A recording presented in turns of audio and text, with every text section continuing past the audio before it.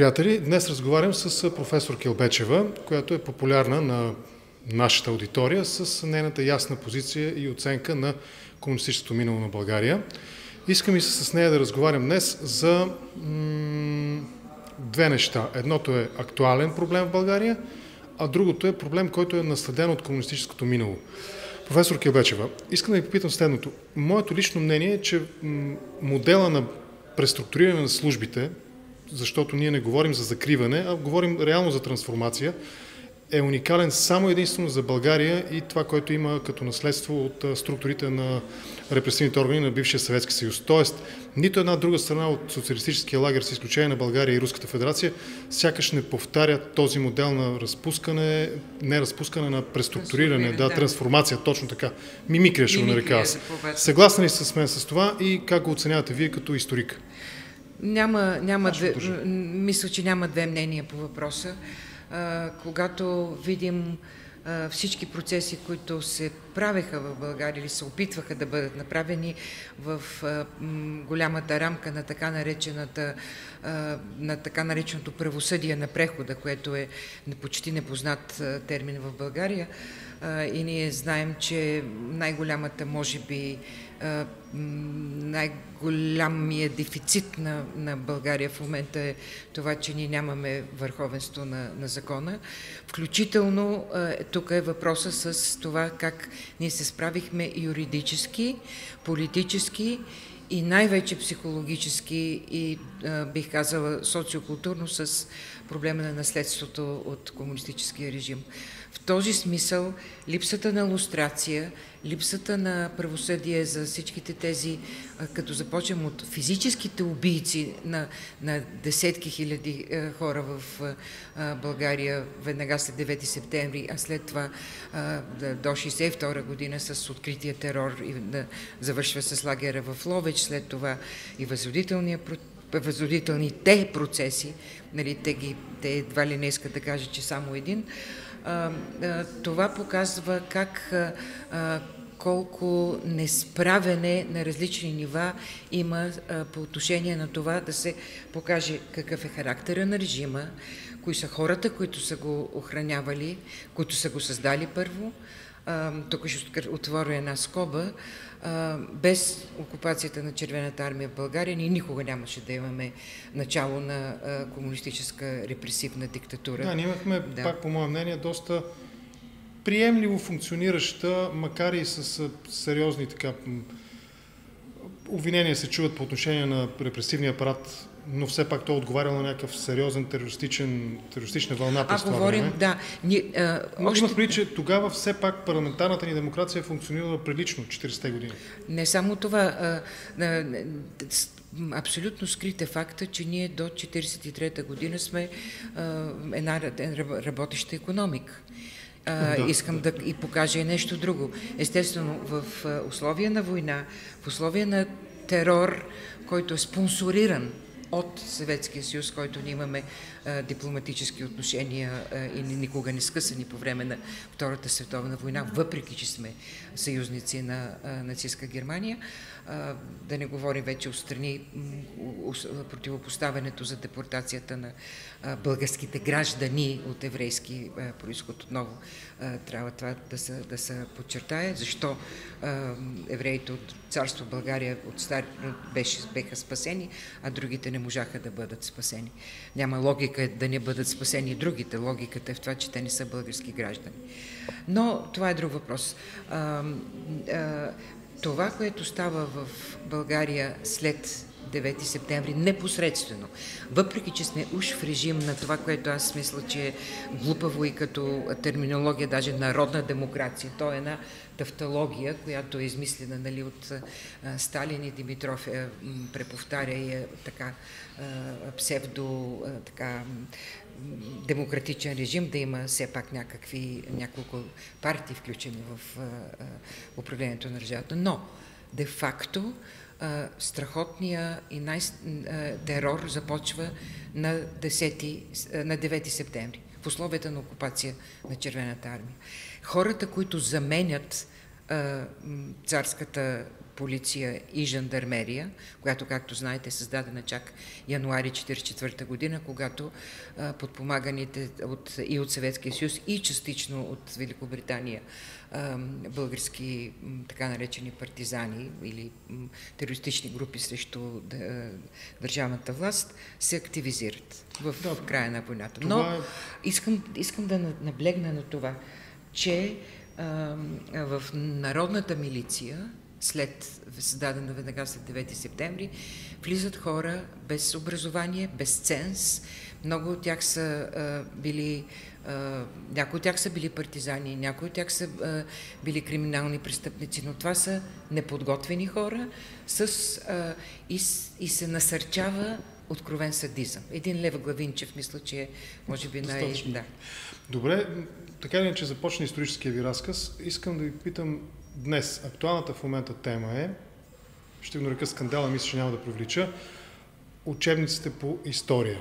30 години след края на комунистическия режим, декларативния край на комунистическия режим в България, ние все още спорим за какво? Хубав въпрос, адски труден и, и много лесен едновременно. А, нека да започна с едно изречение. Тъй нареченото нормализиране на комунистическия режим е ненормална позиция, както за историци, така и за цялата общественост.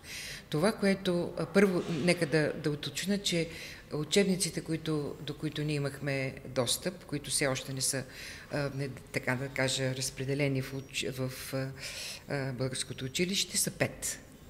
Четири от тях не стават.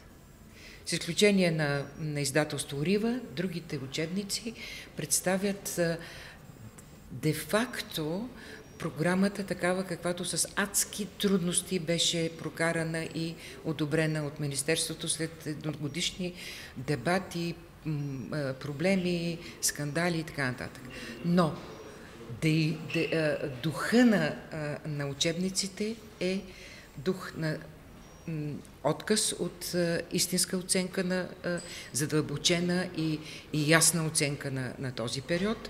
Второ, флагрантни грешки, които, ще цитирам примерно, Прашката пролет е 1986 година. Трето, отказ да се види гръбнака на системата, което е репресивния апарат. Споменава се държавна сигурност, споменават се чистки, споменава се така. Но, примерно, в, в два от учебниците много повече време и място и, и акцент се поставя върху врага с партиен билет. И Трайчо Костов е един от а, а, спряганите герои, ви знаете много. Или сега се въвежда Горуня, един личен враг на, на а, Живков, с който а, нали, от него се прави също герой. Личности на епохата. Елена Лагадинова и Георгия Това Танасов. не беше ли сякаш класическото извинение в ранните години на така наречения преход? Имаше някои изкривявания, за които са говорни, отговорни конкретни партийни другари, но правата линия на партия Точно да продължава. това остава като впечатление от човек, който знае подробностите и процесите, в, в, комуни... на, които се развиват при комунистическия режим. А, а, имало извращения и грешки, тук там е някакви чистки, а това, че ние живеем в едно общество, което заради най-голямата политическа репресия и завършена в източния блок е в България. Ето това трябва да бъде подчертано ей с такива букви в този учебник. Никъде го няма. България е единствената страна, в, както каза скоро и Красен Станчев, интервюиран от Христо Христов, единствената страна в Северното полукълбо, която а, а, всъщност не три пъти, пет пъти а, фалира. Ние имаме три, бранко, три банкрута при комунизма и два след това. Христо Христов, с когото ще разговарям след вас, да. Искам да кажа, че, голе, че много... Да, това е а, не, само, а, не само трите фалита и много други неща. Но искам да кажа, че за економическата политика в повечето учебници се, се говори като политика на реформи, които, видите ли, по някакъв начин не успели. Едно изречение. Няма такова нещо като комунистическа економика, която да работи.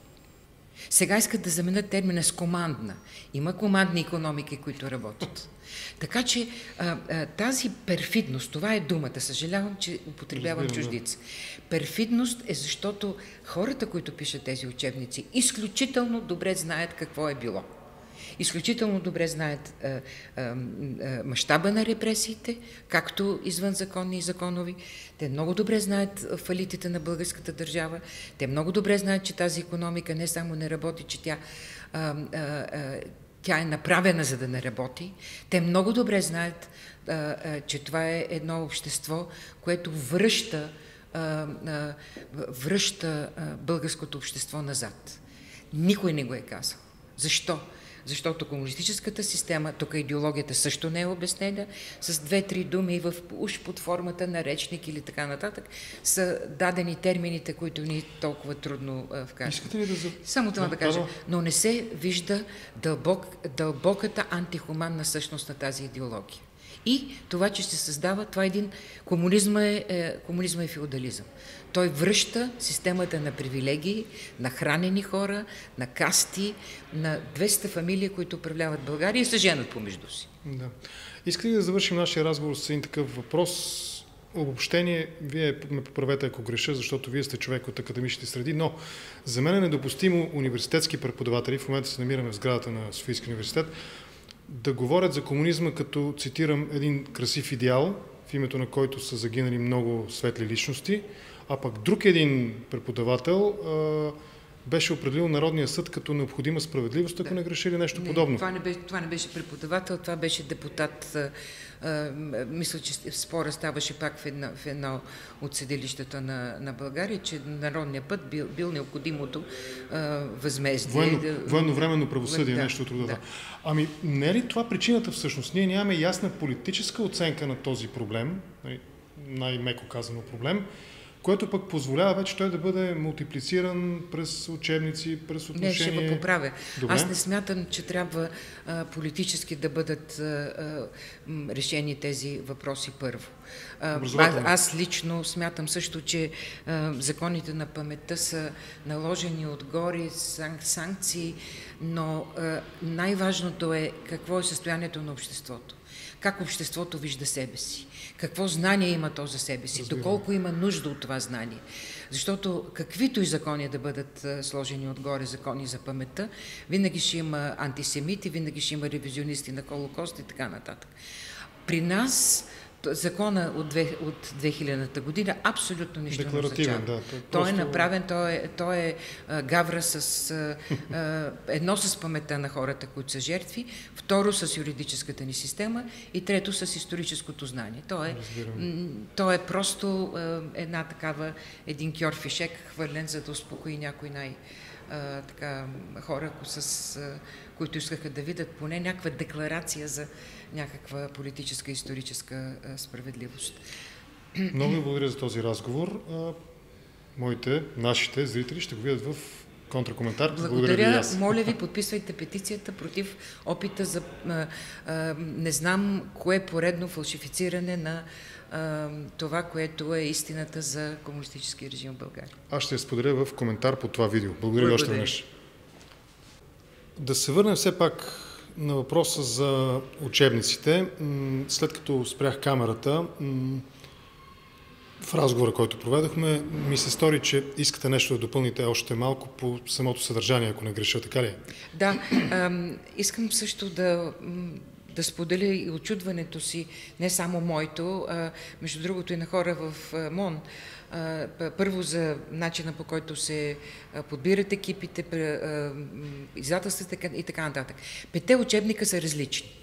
Три са така с много повече замитане под килима и с опит да се избяга от истинската оценка на, на комунизма а, с флагрантни грешки, с а, процеси, които не съществуват, даже не са докоснати, но все пак две издателства, и това искам да, специално да кажа, мисля, че Рива и Просвета са двете много по-приемливи версии за, за този период. Добре, това е важно допълнение. Най-малкото, защото проблема с образованието, преподаването на комунизма в училище и, и, и нагоре, дори бих казал, трябва да бъде третиран професионално. Благодаря ви още веднъж.